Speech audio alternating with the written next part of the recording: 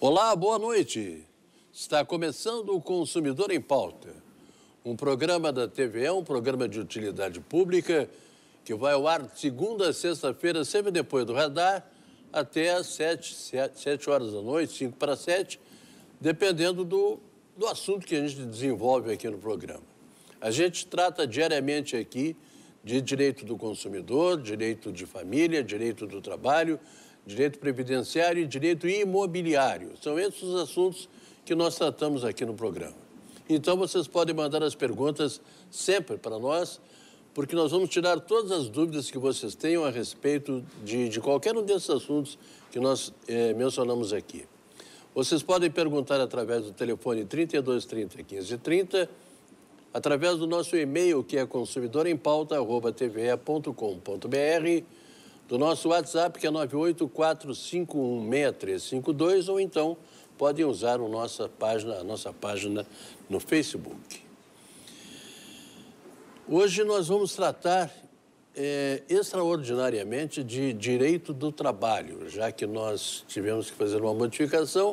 O doutor Luiz Gustavo tratou aqui de direito previdenciário na terça-feira e hoje nós vamos tratar de direito do trabalho. E eu tenho um prazer muito grande de receber aqui o doutor Diego Paim, que além de todas as, as uh, o que ele tem de bom, o que ele sabe, tudo foi aluno do ginásio Assunção. Isso é uma coisa fundamental na com vida. Com muito orgulho. Boa noite. Tudo bem, doutor Diego? Boa noite, Machado. Tudo bem? E já estava com saudade de participar. É sempre um prazer participar é do programa.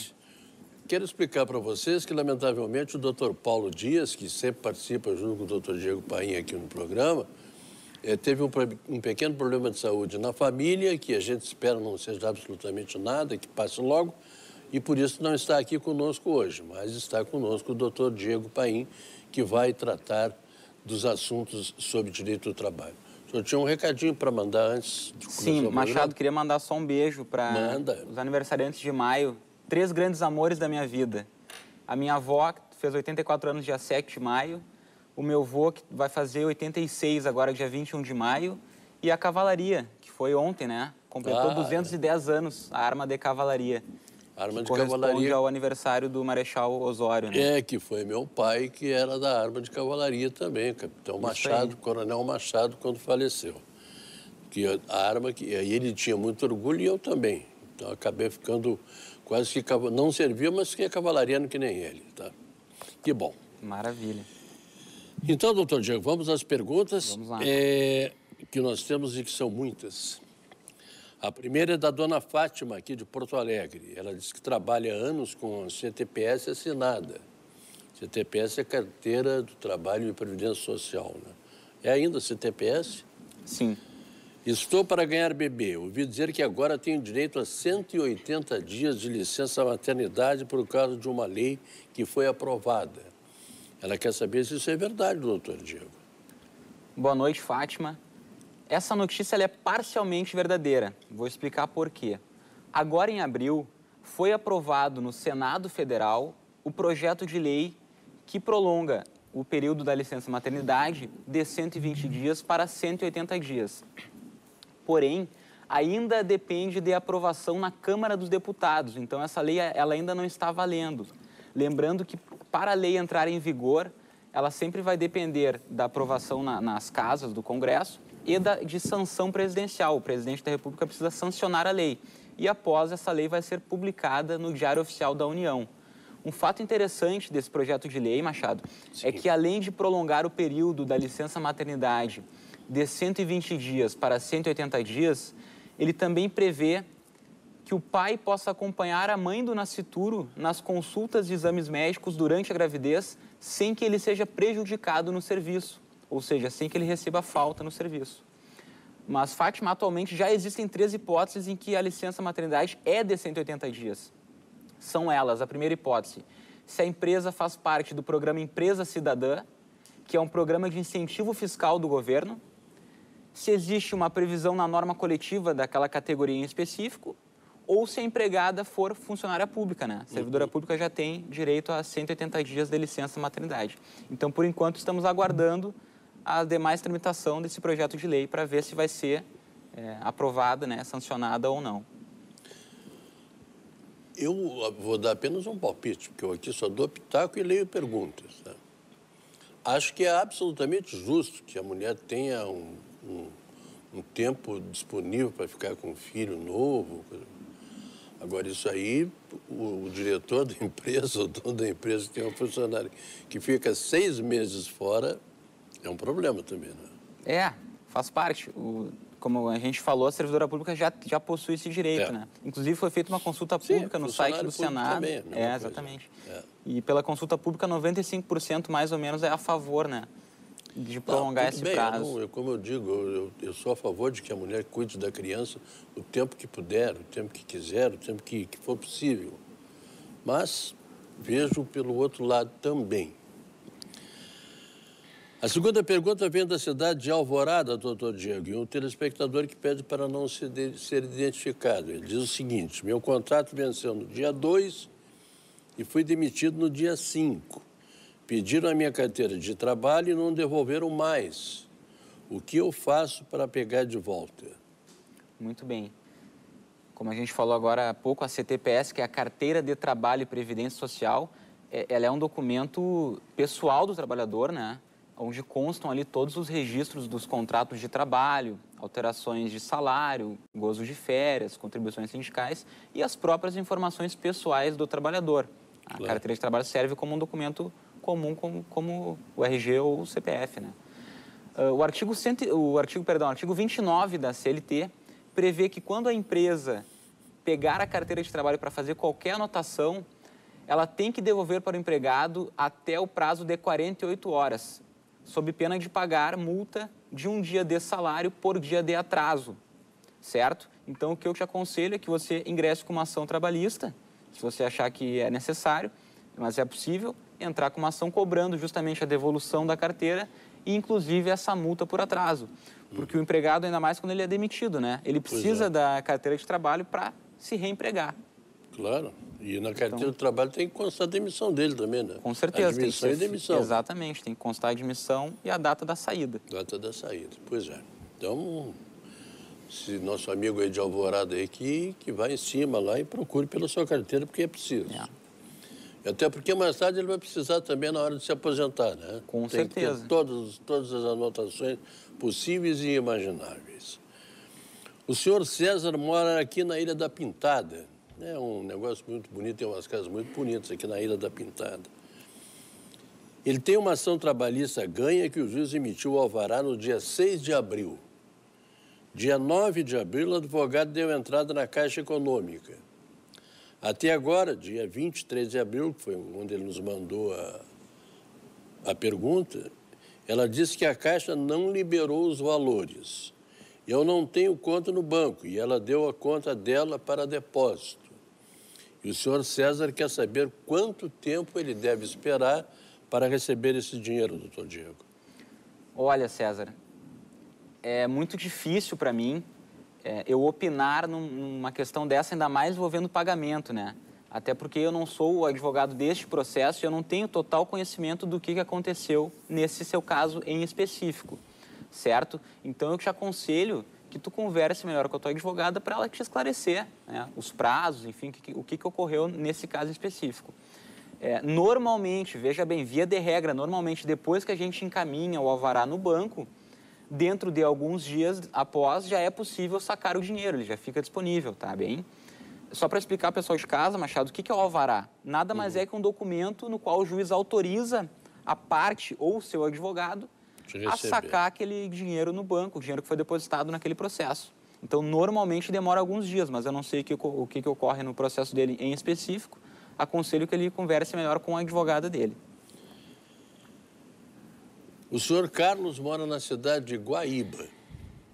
Trabalha em obras sem carteira assinada desde 2013.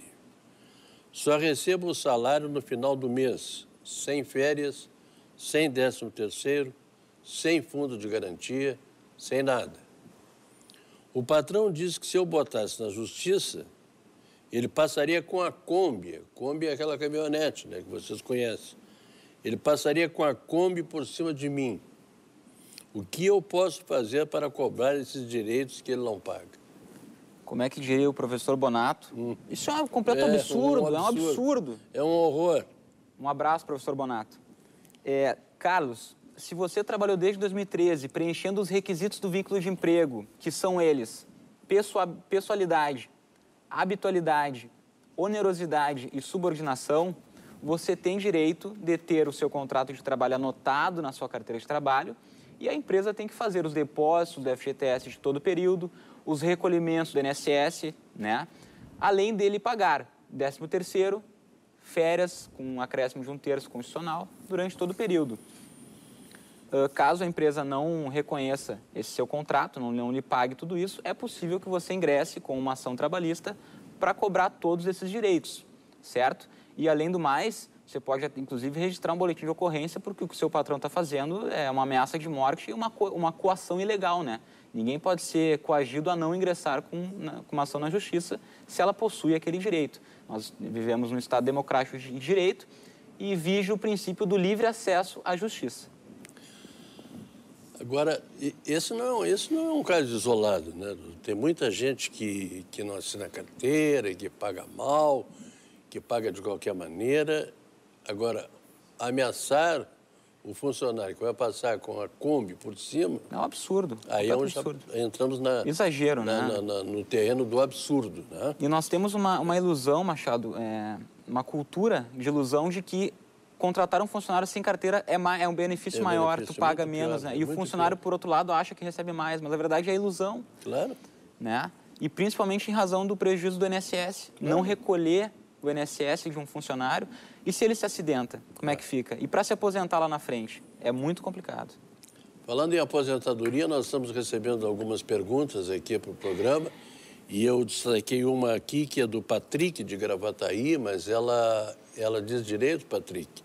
A direito previdenciário é um, é um problema previdenciário que está aqui na pergunta, então ele, ela será respondida por um dos advogados que tratam desse assunto aqui no programa, tá bom?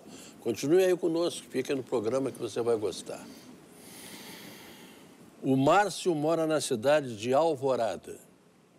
A empresa onde trabalho perdeu minha CTPS e não sei o que fazer. Ele quer saber se ele tem direito a uma indenização por, pelo fato de ter ocorrido. Muito bem. Márcio, que nem nós falamos agora há pouco, a carteira de trabalho é um documento pessoal do trabalhador, onde constam ali todas as anotações dos contratos de trabalho, as alterações de salário, além das informações pessoais do próprio trabalhador, né?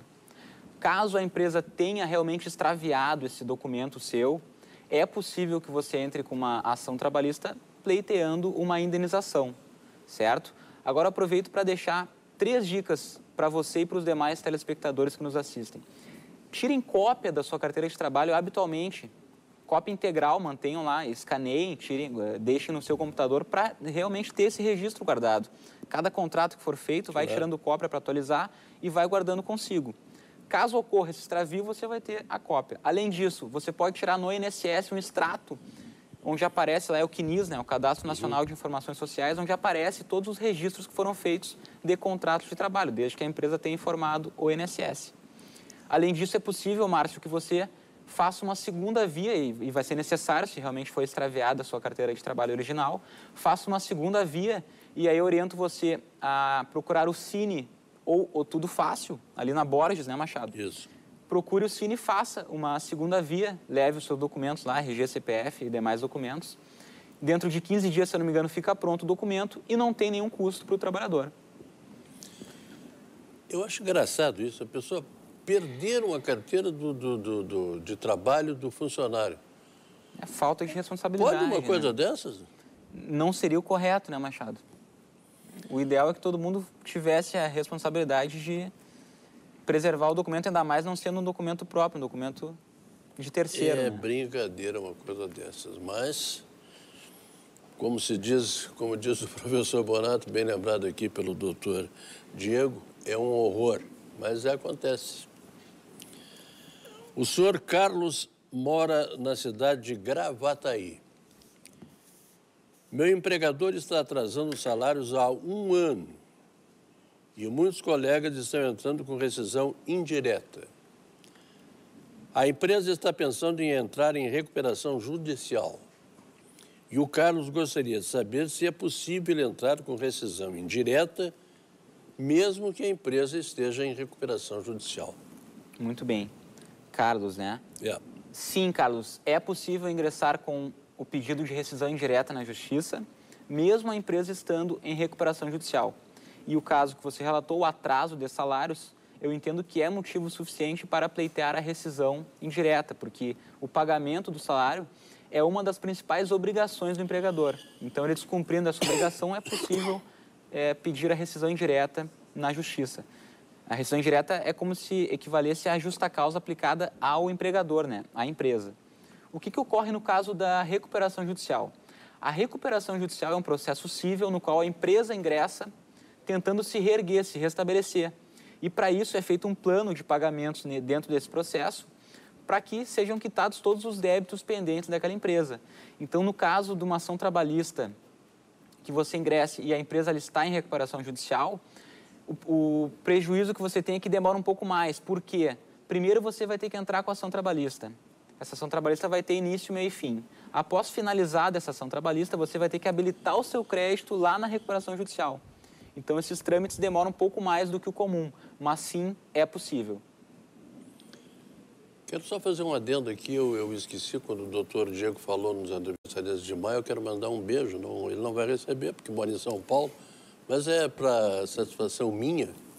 Hoje o meu filho mais velho está fazendo 51 anos e a mulher dele, casualmente, também nasceu no dia 11 de maio. Os dois estão de aniversário hoje. Então, que bacana. Um beijo para o Marcelo e para a Fabiana. Um abraço para a família. Obrigado. O senhor Freitas mora aqui em Porto Alegre. Ele diz o seguinte: movi uma ação contra a empresa em que trabalhava e tive ganho de causa. Na primeira audiência, o representante da empresa não compareceu. Feitos os cálculos, foi determinado o bloqueio dos bens da empresa.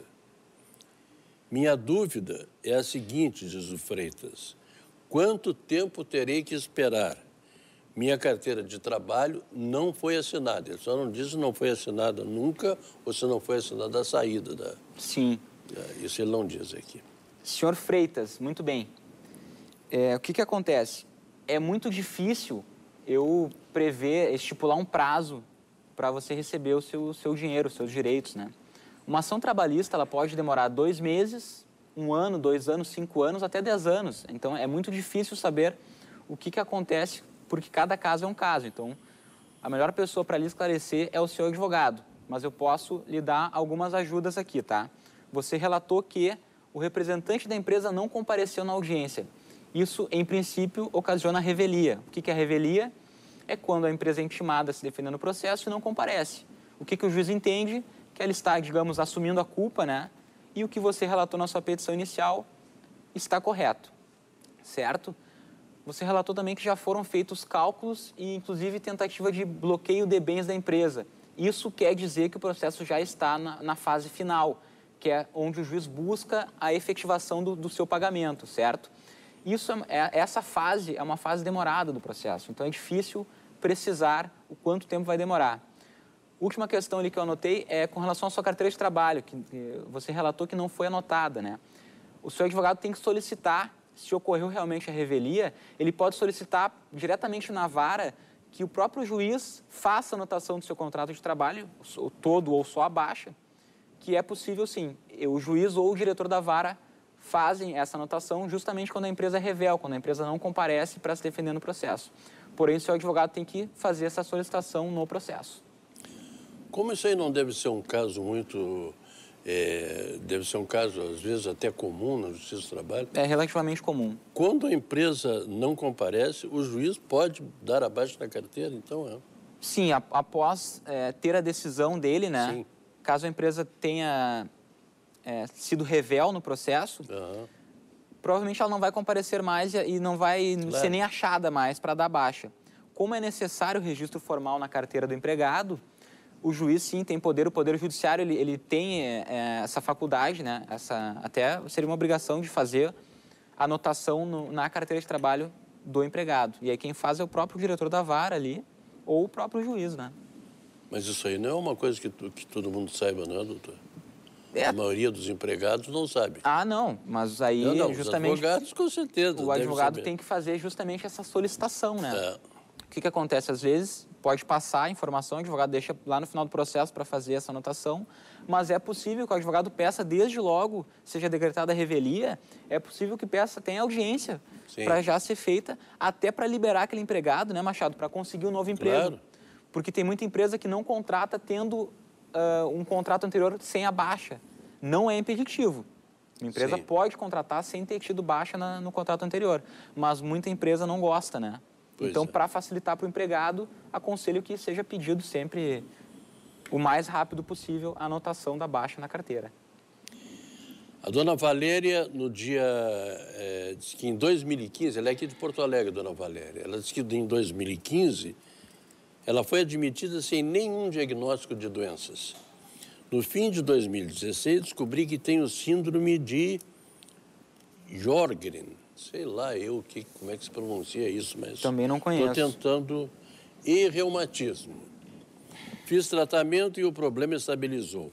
Recentemente descobri que tenho artrite reumatoide, mas que não atrapalha minhas atividades. Minha dúvida é se, mesmo não causando problemas ao trabalho, posso ser demitida. Muito bem. Dona Valéria. Dona Valéria, o que, que acontece? Poder despedir um empregado sem justa causa, isso qualquer empresa pode fazer a qualquer momento. Infelizmente, nós não temos uma garantia, é, digamos, comum de emprego, salvo aquelas hipóteses de garantia provisória ao emprego, né? Da empregada gestante, do empregado acidentado que retorna do INSS, entre outras possibilidades. Agora, nenhuma empresa pode despedir um funcionário de forma discriminatória, que pode ser visto no caso de uma doença, ainda mais se for uma doença estigmatizante. Nenhuma empresa pode despedir aquele funcionário em razão da doença, de forma discriminatória. Isso sim é vedado. É possível aí pedir a reintegração daquele funcionário e uma indenização. Tá bem, Valéria, mas salvo uh, contrário, despedir sem justa causa é uma faculdade que o empregador ele tem, né? Claro que a dona Valéria vai ter todos os direitos é, rescisórios, aí, verbas, tudo ela vai receber. Aí despedindo sem justa causa tem que direito. pagar a indenização compensatória do FGTS, liberar o seguro de emprego, né? Enfim, só fazendo um adendo, Machado, caso a Valéria precise se afastar é, do trabalho por motivo da doença, o período em que ela estiver de atestado médico, os primeiros 15 dias, a empresa tem que pagar, né, obviamente, por esse período, sem, sem lhe dar falta, e não pode despedi-la durante o período, de afastamento, porque o contrato de trabalho fica suspenso durante esse período. Né, e o empregado ele está doente, né, não tem como fazer a dispensa certo. nessa ocasião. O mesmo vale quando o empregado está no INSS. Quando ele se afasta por um período superior a 15 dias, necessita é, ingressar no INSS para receber benefício previdenciário, a empresa também não pode dispensá-lo porque o contrato de trabalho justamente fica suspenso. O, a última pergunta que eu vou fazer para o doutor Diego na noite de hoje é, ela vem aqui do, de Porto Alegre, é o Jonathan. Ele diz que foi demitido e cumpriu o aviso prévio até 30 de abril, que era uma segunda-feira. Só que a empresa pagou minha rescisão só ontem, dia 10. Não tenho direito àquela multa por atraso? Dia 30, né? Foi é. que ele cumpriu o é, até foi, dia 30, ele né? cumpriu até o dia 30 e só é. recebeu o dia é. 10. Uh, Jonathan, o que, que acontece? É, houve uma mudança com a reforma trabalhista, a Lei 13.467 de 2017. Antes da reforma, existia o prazo de um dia útil após o aviso prévio, quando ele era trabalhado, que é o seu caso, né? E o prazo de 10 dias quando o aviso prévio era indenizado, dispensado ou quando não havia aviso prévio. Agora, com a reforma trabalhista, foi alterado o parágrafo 6 do artigo 477 da CLT, e aí foi unificado. Agora, o prazo para pagamento das verbas rescisórias é um prazo único de 10 dias a contar do término da relação contratual. Então, não importa mais qual foi o tipo de aviso prévio são 10 dias a contar do término da relação contratual. Uhum. Ou seja, do último dia, acaba sendo do último dia do aviso prévio, seja né, qual for o tipo de aviso. Então, no teu caso, eh, tu foste demitido dia 30, a empresa pagou dia 10, né, Machado? Então, Isso. justamente a, empresa observou pagou os 10 dias e pagou no prazo limite. Então, nesse caso, Jonathan, você não tem direito à indenização do artigo 477, parágrafo 8 da CLT. Doutor Diego, deixa eu lhe fazer uma pergunta agora, fora, claro. fora do assunto que, das perguntas que nós estamos fazendo. Hoje, nesse mês de maio, é, se completaram os primeiros seis meses da, da reforma trabalhista, né? Sim. Já está tudo pacificado ou está cada vez pior? Olha, Machado, essa é uma questão muito complicada, viu? Até da gente se posicionar. É, existe ainda uma grande insegurança jurídica, principalmente para nós, operadores da área jurídica, né, os advogados e os magistrados, os juízes. Existe muita insegurança, é, existe é, divergências de entendimentos na aplicação da lei e tem é, tido diversos, é, digamos, manifestos, né? Uh, inclusive os tribunais têm se reunido, os juízes têm se reunido para elaborar enunciados, para tentar fazer, é, unificar entendimentos acerca da reforma trabalhista. Mas, por enquanto, ainda realmente há essa insegurança. Nada pacificado. Então, está. Quero agradecer muito ao doutor Diego Paim, que mais uma vez esteve conosco aqui. Já estava com saudade dele, fazia horas Eu que também. ele não aparecia aqui. Mandar um abraço para o doutor Paulo e a esposa dele e dizer que vocês vão ficar aqui com o Panorama. O programa Panorama começa logo a seguir. E quero deixar também aqui um beijo para todas as mães que estão aí e que vão comemorar o domingo, o seu dia, o especial Dia das Mães. Segunda-feira eu estarei de volta aqui, seis e meia da tarde. Eu vou estar com o doutor Santini para falar de direito do consumidor. A todos vocês, muito obrigado, muito boa noite e até lá.